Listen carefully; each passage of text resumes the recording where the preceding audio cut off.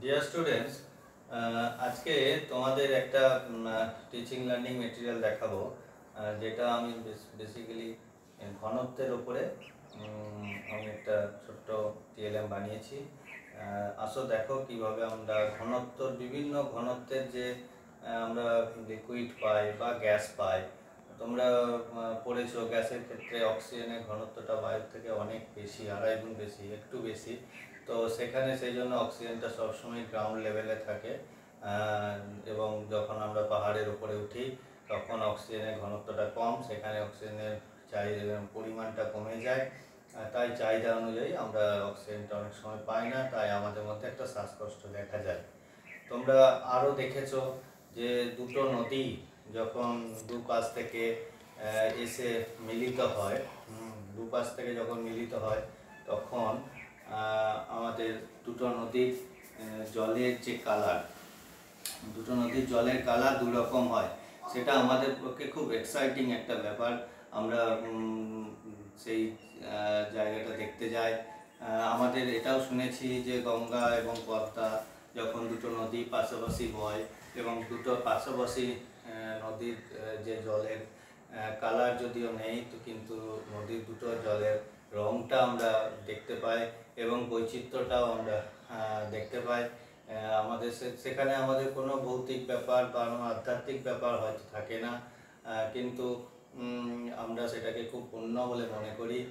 কিন্তু তার আসল যে ঘটনাটা, সেটা আমরা আজকে একটা ছোট্ট টিএলএম এর মাধ্যমে দেখাবো। একটু অপেক্ষা করো, তার আসল ঘটনাটা তুমি নিজেই সামনে দেখতে পাবে। বেসিক্যালি আমার যেটা মনে হয় সেটা বিভিন্ন লিকুইডের ঘনত্ব বিভিন্ন তার জন্য কি হয় পাশাপাশি যদি থাকে, তারা দুটো লেয়ার ফর্ম করে। ফলে তারা খুব যেখানে তাদের মধ্যে জাংশন অর্থাৎ দুটো সংযোগস্থল, সেখানে হয়তো একটু মিক্সচার হয়, কিন্তু পাশাপাশি একটু দূরে দুটো লিকুইডের ঘনত্ব বিভিন্ন হওয়ার জন্য দুটো লিকুইড আলাদাভাবে আমরা স্পষ্ট বুঝতে পারি। এবং আমি তোমাকে যে টিএলএমটা দেখাবো সেখানে আমি বেসিক্যালি আমি কিছু ঘন, তিনটে বিভিন্ন ঘনত্বের লিকুইড আমি নিয়েছি।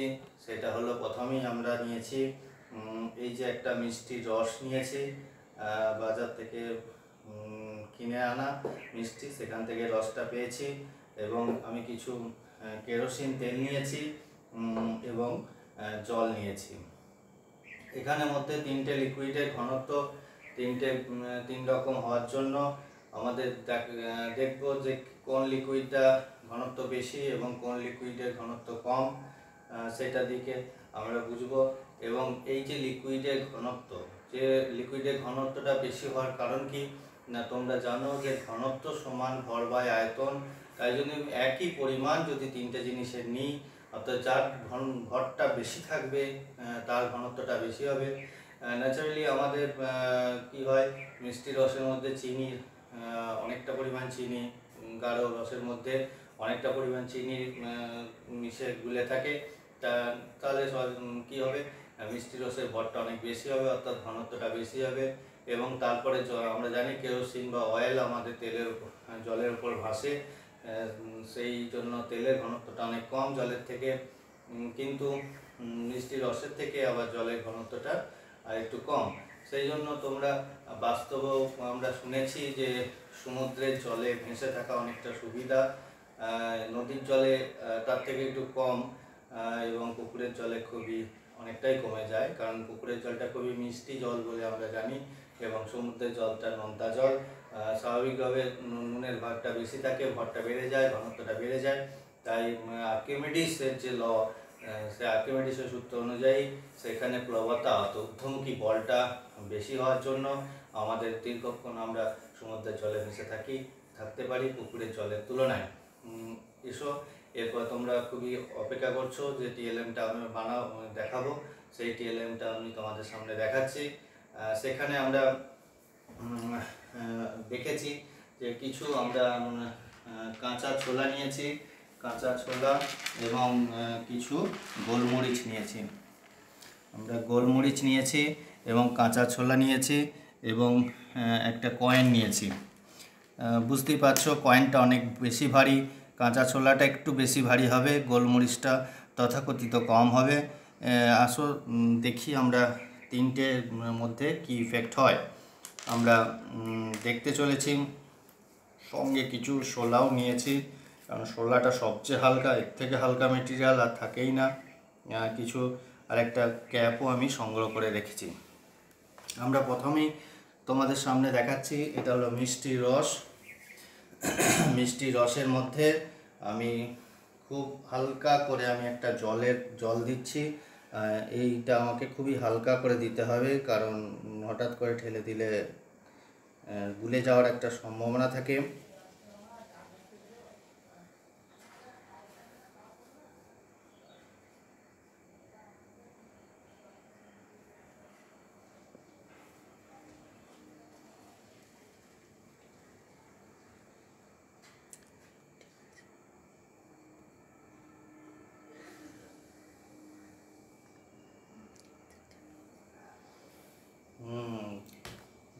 কত সুন্দর আমরা বুঝতে পারছি।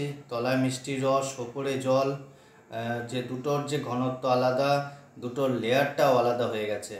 খুবই কাছাকাছি, জলের মধ্যে চিনি মিশিয়ে আমরা মিষ্টি রসটা বানিয়েছি। কিন্তু এখানে দেখো, দুটোর ঘনত্ব আলাদা হওয়ার জন্য দুটো লেয়ার তৈরি হয়ে গেছে। এবং দুটোর যে ঘনত্ব পাশাপাশি দুটো বস্তু, যেটা দুটো নদীর মিলনস্থল, দুটো নদীর জলের যে সংযোগস্থল, আমরা দুটো রকম রং দেখি। সেটাও আমরা এখানে স্পষ্ট কেন দেখি? অনেকটাই ক্লিয়ার এরপরে আমরা একটু কেরোসিন তেল দিতে খুবই ইচ্ছা করছে, কারণ আমরা জানি কেরোসিন তেল জলে ভাসে অত এবং তার মিষ্টি রসটাতে অবশ্যই ভাসবে, কারণ জলটাই তো মিষ্টি রসের উপর ভেসে যাচ্ছে। আমার কেরোসিন তেলটা দেওয়া হয়ে গেলে বাকিটা আমি তোমাদের বলছি।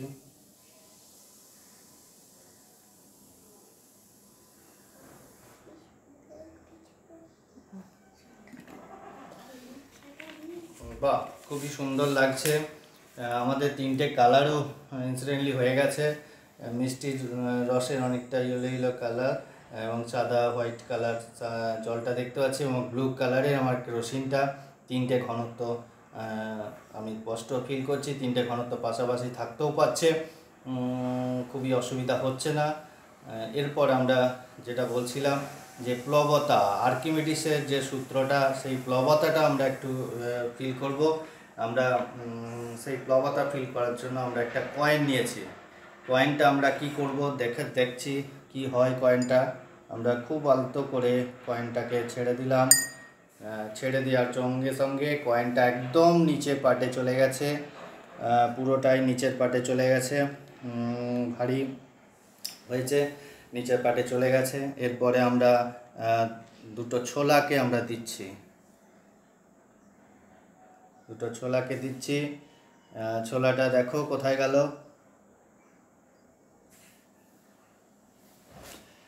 দেখতে পাচ্ছ, ছোলাটা যে রসটার উপরে কিন্তু দাঁড়িয়ে গেছে। অর্থাৎ ছোলাটা জল এবং কেরোসিন দুটোর থেকেই ভারী। সেই জন্য ভারী হওয়ার জন্য অভিকর্ষ ত্বরণের প্রভাবে বা এই আমাদের এই ঘনত্ব থেকে একটু বেশি ভারী হওয়ার জন্য সেখান থেকে চলে গেছে, রসটা তলায় আর যেতে পারছে না। পয়সাটা প্রতিগত ভারী হওয়ার জন্য পয়সাটা তলায় চলে গেছে, কিন্তু ছোলাটা আমাদের রসের কাছে যে আর যেতে পারছে না নিচে থেকেই ঢুকতে পারছে না। এখানে কিন্তু কোনো বাহ্যিক বল আমি কোনো দেইনি পুরোটাই স্বাভাবিক আর্কিমিডিসের সূত্র অনুযায়ী হচ্ছে। নেক্সট আমরা কিছু গোলমরিচের দানা দিলাম। গোলমরিচের দানাটা আমি এখানে দিলাম। গোলমরিচের দানাটা পুরোপুরি দেখো আমাদের চলে গেছে তলাতে।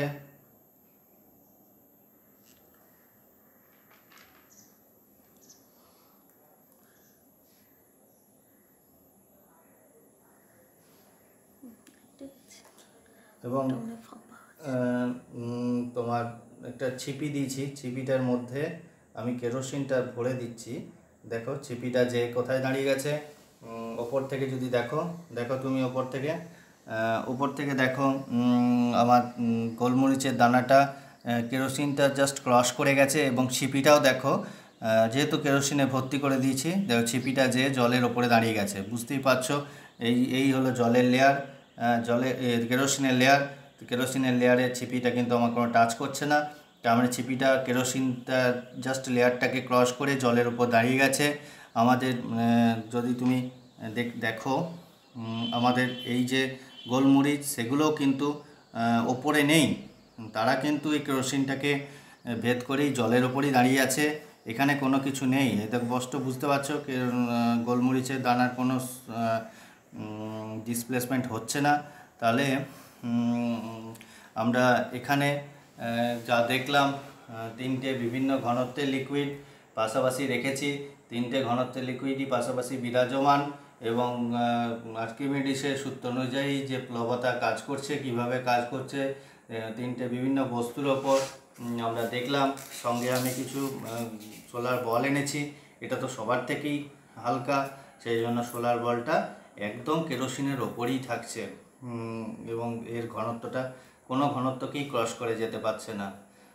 তাই এখানেই আমাদের টিএলএম বানানোটা সাকসেস হয়েছে। তোমরা ঘনত্বের বিভিন্ন ঘনত্বে যেটা কনফিউশন তৈরি হয়, আশা করি এটা তোমাদের কনফিউশনটা দূর হবে। এই টিএলএমটা দেখার পরে। Thank you